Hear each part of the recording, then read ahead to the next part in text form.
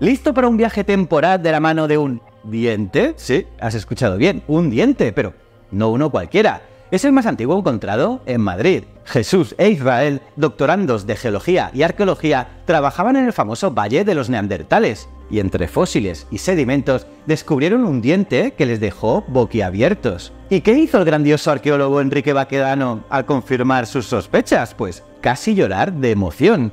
Y no es para menos, porque este diente perteneció a un homo que vivió hace nada más y nada menos que 400.000 a 500.000 años. Vaya hallazgo, ¿eh? Y ojo, este molar que era de un anciano se encontró en un cubil de hienas. Pobre hombre, imagina acabar en el menú de estos animales. Pero volvamos al diente. Un molar desgastado, señal de que pertenecía a alguien de avanzada edad. Al parecer, este individuo podría ser incluso más antiguo que los restos de la famosa cima de los huesos de Atapuerca. Increíble.